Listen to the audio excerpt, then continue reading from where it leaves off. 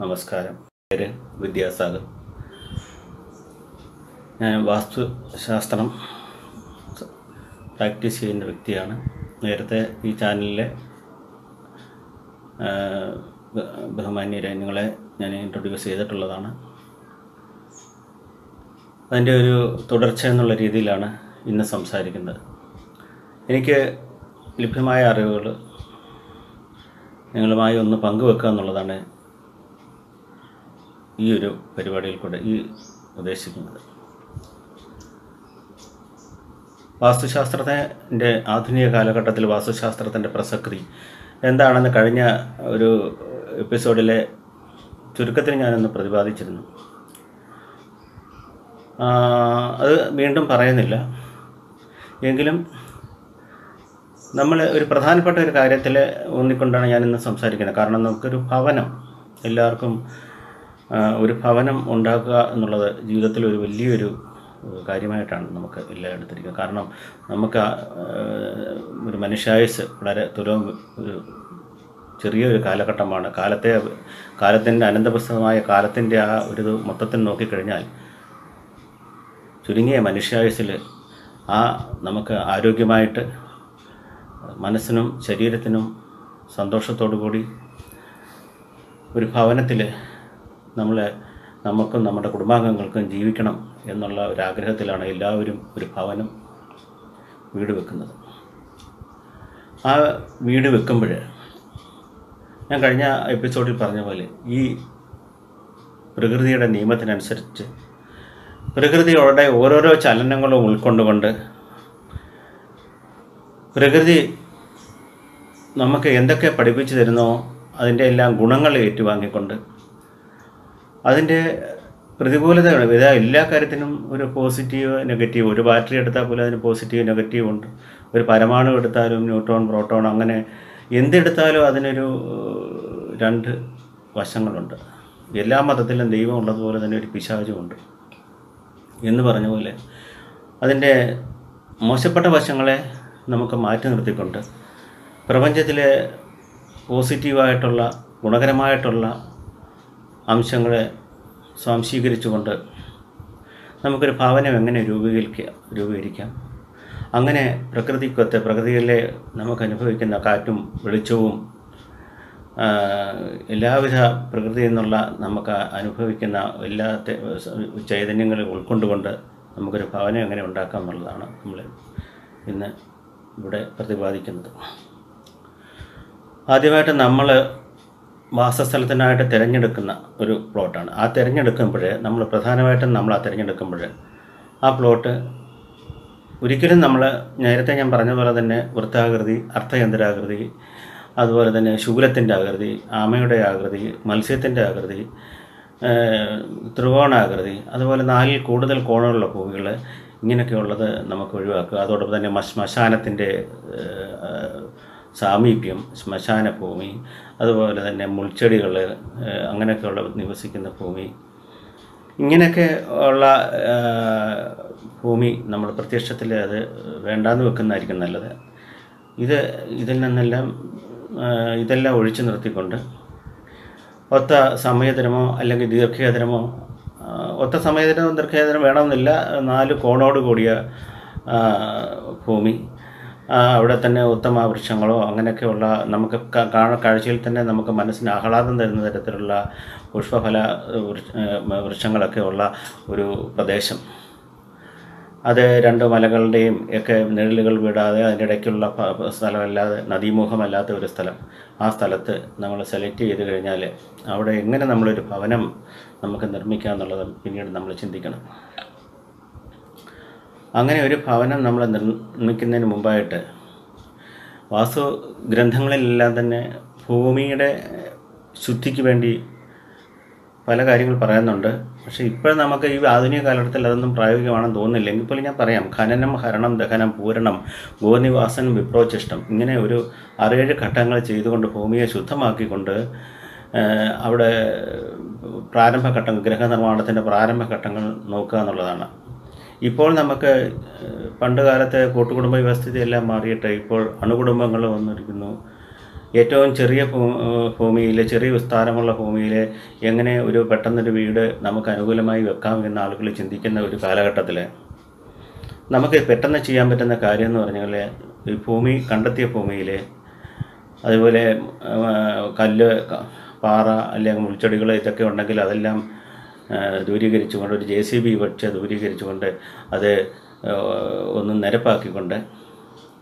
നിരപ്പാക്കുമ്പോൾ ഒരു കാര്യം പ്രത്യേകം നിങ്ങൾ ഓർക്കുക. പ്രകൃതിയാ ഭൂമിക്ക് ചരിവില്ല സമതല പ്രദേശമാണെങ്കിൽ ആണെങ്കിൽ ഒരു ചെറിയ ഒരു സ്ലോപ്പ് മഴവെള്ളം പെയ്താൽ ഒന്നുകിൽ വടക്ക് കിഴക്ക് ദിക്കിലോട്ട് ഒഴുകി പോകുന്നതാണ് ഏറ്റവും ഉത്തമം. അല്ലെങ്കിൽ കിഴക്കോട്ടോ അല്ലെങ്കിൽ വടക്കോട്ടോ ഭൂമി ആ മഴ പെയ്യുന്ന ജലം ഒഴുകി പോകത്തക്ക രീതിയിൽ നിരപ്പാക്കി ക്രമീകരിക്കുക എന്നുള്ളതാണ് ആദ്യത്തെ ഒരു നടപടി.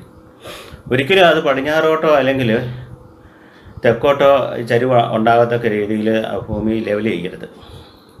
അങ്ങനെ ലെവൽ ചെയ്ത ഭൂമിയിൽ ഒരു ജ്യോതിഷിയെ കണ്ടുകൊണ്ട് ഉത്തമമായ ഒരു സമയം നമുക്ക് നിർണയിച്ചുകൊണ്ട് ആ സമയത്ത് ഭൂമി പൂജ ഈശാനുകോണിൽ കിഴക്കോട്ട് തിരിഞ്ഞുകൊണ്ട് ഭൂമി പൂജ ചെയ്ത്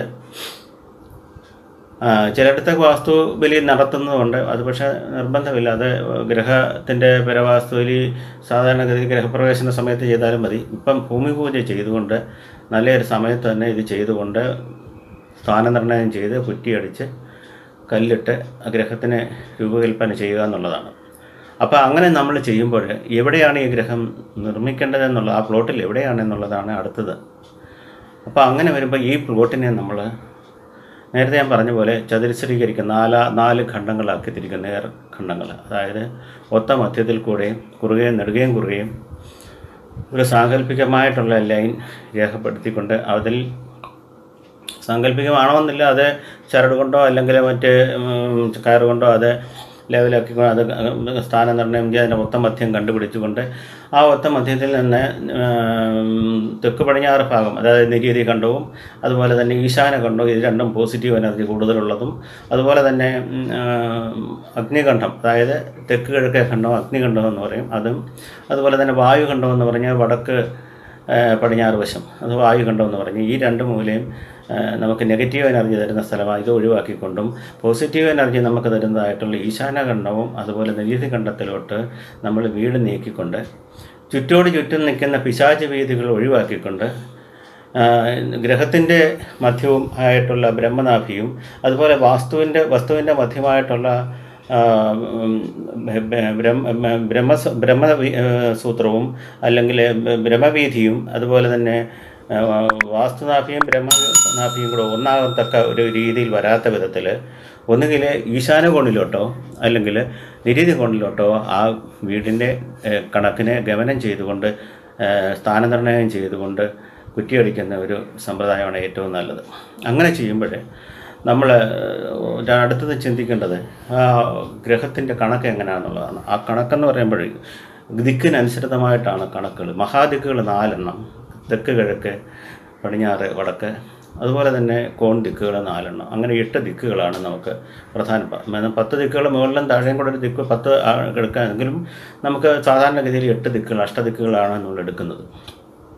അഷ്ടദിക്കുകൾ അടുത്തുള്ള നദിയോ അല്ലെങ്കിൽ അതുപോലെ തന്നെ വഴിയുടെയോ കണക്കിലെടുത്തുകൊണ്ട് അത് ഒന്നുകിൽ ഇപ്പം നമുക്ക് കിഴക്ക് പടിഞ്ഞാറ് ഒരു വഴിയാണെന്ന് കണ്ടു കഴിഞ്ഞാൽ ചിലപ്പം തെക്കോട്ടെ ദർശനം അതായത് ആ വഴിക്ക് അല്ലെങ്കിൽ അവിടെ നദിയാണ് വഴിക്ക് വരാൻ അവിടെ നദിയാണെങ്കിലും അതുപോലെ വഴിയാണെങ്കിലും അതിന് അഭിമുഖമായിട്ട് നമുക്ക് വീട് രൂപകൽപ്പന ചെയ്യാൻ പറ്റത്തുള്ളൂ. അപ്പോൾ നമുക്ക് ആ, വീട് തെക്കോട്ട് ദർശനമായിട്ട് തന്നെ ചെയ്യേണ്ടതായിട്ട് വന്നേക്കാം. അതുപോലെ തന്നെ തെക്ക് വടക്ക് വഴിയാണെങ്കിൽ നമുക്ക് കിഴക്കോട്ടോ അല്ലെങ്കിൽ പടിഞ്ഞാട്ടോ ദർശനമായിട്ട് ഗ്രഹം ചെയ്യണം. അങ്ങനെയാണ് വഴിയോ നദിയോ തെക്ക് തെക്ക് വടക്കുണ്ടെങ്കിൽ അങ്ങനെ ചെയ്യാം. അപ്പോൾ അങ്ങനെ അതിന് വഴിക്കനുസരിച്ച് നദിക്കനുസരിച്ച് അതുപോലെ തന്നെ നമ്മൾ വസ്തുവിൽ ഗ്രഹത്തിന്റെ കണക്ക് നമ്മൾ നോക്കുമ്പോൾ കിഴക്കോട്ട് ദർശനമാകുമ്പോൾ അത് വൃഷഭ യോനിയിൽ കണക്ക് വരണം. പടിഞ്ഞാട്ട് ദർശനമുള്ള ഭവനമാണെങ്കിൽ അത് ധ്വജയോനിയിലാണ് കണക്ക് വരേണ്ടത്. തെക്ക് ദർശനമുള്ള വീട് നമ്മൾ ചെയ്യുകയാണെങ്കിൽ അത് ഗജ ഗജയോനിയിലും അതുപോലെ വടക്കോട്ട് ദർശനമുള്ള ഭവനത്തിന് സിംഹയോനിയിലും കണക്ക് വരണം. ഈ നാല് കണക്കല്ലാതെ മറ്റ് കോൺ ദിക്കിൽ അതായത് വിദിക്കുകളിലേക്കുള്ള കണക്കുകൾ കഴിവതും ഒഴിവാക്കുന്നതാണ് നല്ലത്. കാരണം അത് നമുക്ക് പലതരത്തിലുള്ള ദോഷങ്ങളും നമുക്ക് ഉണ്ടാകും എന്നുള്ളതുകൊണ്ട് തന്നെ വിധുക്കുകളിലേക്കുള്ള കുക്കുരം ധൂമം കുക്കുരം ഖരം വായുസം ഈ നാല് കോൺതിക്കിലേക്കുള്ള കണക്ക് നമുക്ക് എടുക്കാൻ പാടില്ല. അത് അത് നിങ്ങൾക്ക് വേണമെങ്കിൽ അത് ഒരു പേപ്പറിൽ അത് ഞാനത് എഴുതിയിട്ടുണ്ട്. അത് നമുക്ക് കണ്ടാൽ മനസ്സിലാവും. ഇത് കിഴക്ക് പടിഞ്ഞാറ് ഇത് തെക്ക് വടക്ക്. ഓരോ ദിക്കിൽ ഇത് ധ്വജം കിഴക്ക് കിഴക്ക് ദർശനമായിട്ടുള്ള കിഴക്കുന്ന പടിഞ്ഞാട്ട് ദർശനമായിട്ടുള്ളത് ധ്വജയോനിയിൽ. ഇപ്പം ഈ വശത്ത് വരുന്നത് തെക്കിഴക്ക് തെക്ക് കിഴക്ക് വരുന്ന ധൂമയോനി വരും. അതുപോലെ തന്നെ തെക്കൊന്ന് വടക്കോട്ടുള്ള ദർശനമായിട്ടുള്ളതിന് സിംഹയോനി. അതുപോലെ തന്നെ ഈ കോണ്ടിക്ക് അതായത് തെക്ക് പടിഞ്ഞാറ് കുക്കുലം വരും. പടിഞ്ഞാറ് നിന്ന് കിഴക്കോട്ട് ദർശനമായിട്ടുള്ള വീട് വെക്കുമ്പോൾ വൃഷഭത്തിൽ വരും. അങ്ങനെ അതെ ഞാനിത് കണക്കിത് കാണ കാണിച്ചതിന്റെ കാരണം ഈ ദിക്കിയോനെ നമുക്ക് മനസ്സിലാക്കണമെങ്കിൽ ചുറ്റളവിനെ മൊത്തം ചുറ്റളവിനെ നമ്മൾ മൂന്ന് കൊണ്ട് ഗുണിച്ചിട്ട് എട്ട് കൊണ്ട് ഭാഗിക്കണം. മൂന്ന് എന്താണെന്ന് ചോദിച്ചു കഴിഞ്ഞാൽ ഭൂമിക്ക് പ്രപഞ്ചത്തിന് മൂന്ന് തലങ്ങളാണുള്ളത്. ആ മൂന്ന് തലങ്ങളെ കൊണ്ട് നമ്മൾ ഗുണിച്ചുകൊണ്ട് അഷ്ടദിക്കുകൾ എട്ട് ദിക്കുകളെ കൊണ്ട് ഭാഗിക്കുമ്പോൾ അതിന് ശിഷ്ടസംഖ്യ കിട്ടുന്നത് എത്രയാണോ ആ സംഖ്യ ആയിരിക്കും ഈ ദിക്ക് സൂചിപ്പിക്കുന്നത്. ശിഷ്ടസംഖ്യ നാലാണെങ്കിൽ നമുക്ക് കുക്കര യോനിയായിരിക്കും അത് അധമയോനിയാണ് നമുക്ക് അത് അത് ഏത് ദിക്കിലോട്ടോ തിരിഞ്ഞാണെങ്കിൽ ആ ദിക്കിലേക്കുള്ളത് നമ്മൾ എടുക്കാൻ പാടില്ല. അപ്പം നമ്മൾ ഈ പറഞ്ഞ പോലെ തന്നെ പടിഞ്ഞ് കിഴക്കോട്ട് ദർശനമായിട്ടുള്ളതാണെങ്കിൽ ഈ അഞ്ചിൽ വരിക അതുപോലെ തന്നെ പടിഞ്ഞാട്ട് ദർശനമാണെങ്കിൽ ഒന്നിൽ വരിക. അങ്ങനെ ആ രീതിയിൽ ശിഷ്ടസംഖ്യ ആസ്പദമാക്കിക്കൊണ്ടാണ് നമ്മൾ ദിക്കുകളെ നിർണയിക്കുന്നത് ദിക്കുയോനി ഒന്നുകൂടെ ഞാൻ പറയാം. കിഴക്ക് അഭിമുഖമായിട്ട് നമ്മൾ ഒരു വീട് വെക്കുന്നത് വൃഷഭയോനിയിലും പടിഞ്ഞാറ് അഭിമുഖമായിട്ട് നമ്മൾ വെക്കുന്ന വീട് വെക്കുന്നത് ധ്വജയോനിയിലും അതുപോലെ തെക്ക് ദർശനമായിട്ട് വെക്കുന്നത് ഗജയോനിയിലും വടക്ക് ദർശനമായിട്ട് വെക്കുന്നത് സിംഹയോനിയിലും വേണം. വിധിക്കുകൾ കണ കണക്കുകളും നമ്മൾ ഒഴിവാക്കുക. അപ്പം നമ്മളൊരു ഗ്രഹത്തിന്റെ കണക്ക് ചെയ്യുമ്പോൾ ആദ്യമായിട്ട് ദിക്ക് യോനി അത് കറക്റ്റ് ആയിരിക്കണം ഏത് ദിക്കിലോട്ടാണ് നമ്മൾ അഭിമുഖീകരിച്ച് വീട് വെക്കുന്നതെന്ന് വെച്ചാൽ ആ ദിക്കിലേക്കുള്ള ദിക്ക് യോനി കണക്ക് ശരിയായിരിക്കണം. പിന്നെ രണ്ടാമത് വരവ് കൂടിയും ചെലവും കുറവും വരണം. ആയം കൂടിയിട്ട് നമുക്കതിനൊരു ഭവനത്തിൽ ചിലവ് കൂടുകയും വരവ് കുറയുകയും ചെയ്യുന്ന അവസ്ഥ വന്നു കഴിഞ്ഞാൽ അത് ഇൻബാലൻസ്ഡ് ആവുമല്ലോ എന്ന് പറഞ്ഞ പോലെ തന്നെ ഇത് വാസ്തുശാസ്ത്രത്തിലും വരവ് കൂടിയും ചിലവ് കുറഞ്ഞും വരണം. വരവ് എന്ന് പറഞ്ഞു കഴിഞ്ഞാൽ ചുറ്റളവിനെ നമ്മൾ എട്ട് കൊണ്ട് ഗുണിച്ച് പന്ത്രണ്ട് കൊണ്ട് ഭാഗിക്കുമ്പോഴാണ് വരവ് ആയമെന്ന് പറയും. എട്ട് കൊണ്ട് ഗുണിച്ചിട്ട് പന്ത്രണ്ട് കൊണ്ട് ഭാഗിക്കുമ്പോഴേ അതിന് വരവും. മൂന്ന് കൊണ്ട് ഗുണിച്ചിട്ട് പതിനാല് കൊണ്ട് ഭാഗിക്കുമ്പോൾ അത് ചിലവും വരും. മൂന്ന് കൊണ്ട് ഗുണിച്ചിട്ട് പതിനാല് കൊണ്ട് ഭാഗിക്കുമ്പോൾ അതിനെ ചിലവെന്നും വരും. അപ്പോൾ വരവ് കൂടി ചിലവ് കുറഞ്ഞ് പിന്നെ മൂന്നാമത് നമ്മൾ കണക്കാക്കേണ്ട കാര്യം ഇന്ന് ഗ്രഹം നിർമ്മിക്കുന്ന ആ, വ്യക്തിയുടെ അതായത് ഗ്രഹനാഥൻ അല്ലെങ്കിൽ ഗ്രഹനാഥ ഈ രണ്ട് പേരുടെ അവർക്ക് നക്ഷ ജന്മനക്ഷത്രങ്ങൾ കാണും. ആ ജന്മനക്ഷത്രത്തിന്റെ വേദനക്ഷത്രങ്ങളുണ്ട്. ഓരോ നക്ഷത്രത്തിനും വേദനക്ഷത്രങ്ങളുണ്ട്. ആ വേദനക്ഷത്രങ്ങൾ ഗ്രഹനക്ഷത്രമായിക്കൂടാ. ഈ ഗ്രഹനക്ഷത്രം എന്ന് പറഞ്ഞാൽ അതെങ്ങനെയാണ് കണ്ടുപിടിക്കുന്നത് വെച്ചാൽ അതും ചുറ്റളവിനെ അടിസ്ഥാനപ്പെടുത്തിയാണ്. ചുറ്റളവിനെ മൂന്ന് കൊണ്ട് ഗുണിച്ചിട്ട് ഇരുപത്തേഴ് കൊണ്ട് ഭാഗിക്കുമ്പോഴാണ് നമുക്ക് നക്ഷത്രത്തെ കണ്ടെത്താൻ സാധിക്കുന്നത്. ഇങ്ങനെ കിട്ടുന്ന ആ നക്ഷത്രം ഈ ഗ്രഹം ആര് പണിയുന്നു ആ ഗ്രഹനാഥന്റെയും ഗ്രഹനാഥയുടെയും വേദനക്ഷത്രം ആയിക്കൂടാ. അതുപോലെ തന്നെ ആ ചുറ്റളവ് ബാല്യമാണോ കൗമാരമാണോ യൗവനമാണോ വാർദ്ധക്യമാണോ മൃതിയാണോ എന്നെങ്കിൽ നമുക്കറിയണമെങ്കിൽ അതിനെ ആ ചുറ്റളവിനെ തന്നെ ഇട്ടുകൊണ്ട് ഗുണിച്ചിട്ട് ഇരുപത്തിയേഴ് കൊണ്ട് ഭാഗിക്കുമ്പോഴേ നമുക്ക് ആ വയസ്സിനെ പറ്റി നമുക്ക് നിർണയിക്കാനും പറ്റും. അതുപോലെ തന്നെ എട്ട് കൊണ്ട് ചുറ്റളവിനെ എട്ട് കൊണ്ട് ഗുണിച്ചിട്ട് മുപ്പത് കൊണ്ട് ഭാഗിക്കുമ്പോൾ തിഥി മനസ്സിലാക്കാൻ പറ്റും. ആ തിഥ്യർത്ഥ തിഥ്യാർത്ഥമാണ് കാരണം അങ്ങനെ നമ്മൾ ആ അത്രയും ഈ പ്രധാനപ്പെട്ട ഇത്രയും കാര്യങ്ങളെങ്കിലും നമ്മൾ ഇത് അനുകൂലമായിരിക്കണം. ഒരു നമ്മൾ കണക്കെടുക്കുമ്പോൾ ആ കണക്കിൽ ഒന്നാമത് ദിക്കിയോനി കറക്റ്റ് ആയിരിക്കണം. രണ്ട് ആയം കൂടിയിട്ട് വ്യയം കുറഞ്ഞ് നമ്മൾ ആര് പണിയുന്നോ അവരുടെ വേദനക്ഷത്രമല്ലാത്ത ഒരു നക്ഷത്രത്തിൽ മൃത്യുസൂത്രം അല്ലാതെ കാ- കാ- യൗവനത്തിലോ വരത്തക്ക രീതിയിൽ ഒരു കണക്കെടുത്തുകൊണ്ട് കൗമാരത്തിലോ യൗവനത്തിലോ വരത്തക്ക വിധത്തിൽ ഒരു കണക്കെടുത്തുകൊണ്ട് അനുകൂലമായ തിഥിയിലും അനുകൂലമായ കാരണം വൃഷ്ടിയല്ലാത്ത അനുകൂലമല്ലാത്ത അനുകൂലമായ ഒരു കാരണത്തിലും നമുക്ക് ഇതെല്ലാം കൂടെ ഒത്തുവരുന്ന ഒരു കണക്കാണ് നമുക്ക് പ്രപഞ്ചത്തിന്റെ തത്വങ്ങൾക്ക് അനുസൃതമായിട്ട് പ്രകൃതിയുടെ നിയമത്തിനനുസൃതമായിട്ട് ഒരു ഗ്രഹത്തിന് വേണ്ട കണക്ക്.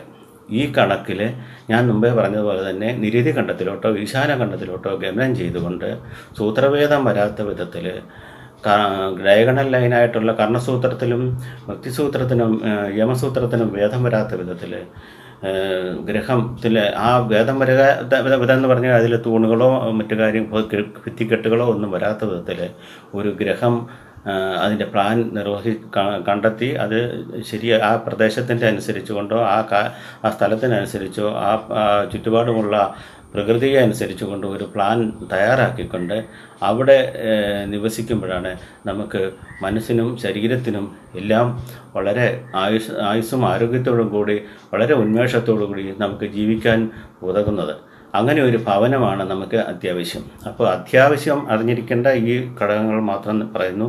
ഇനിയുള്ള ചില സമയം ഏഹ്, ചുറ്റും ഇതിന് ഇത് ഇതൊന്നും അല്ല ഇതിന് വളരെ ഒത്തിരി കാര്യങ്ങൾ പറയാനുണ്ട്. കാരണം ഇതിന് ഓരോരോ വസ്തുവിനും ഓരോ വാസ്തുവുണ്ട്. അതായത് നമുക്ക് ഇതിന് ഉള്ളിലുള്ള കണക്കുകളുണ്ട്. ഓരോരോ മുറികൾ അതുപോലെ തന്നെ പൂജാമുറി അതുപോലെ തന്നെ മറ്റുള്ള അകത്തുള്ള ഓരോരോ ക്രമീകരണങ്ങൾ പണ്ടത്തെ ഒരു സിസ്റ്റം അനുസരിച്ച് കഴിഞ്ഞാൽ ഓരോരോ പ്രവർത്തിക്കും തന്നെ ഓരോ മുറികൾ രൂപകൽപ്പന ചെയ്തിട്ടുണ്ട് കണക്കിന് അടിസ്ഥാനത്തിൽ. ഇതിപ്പോൾ ഇപ്പോൾ ഇല്ല?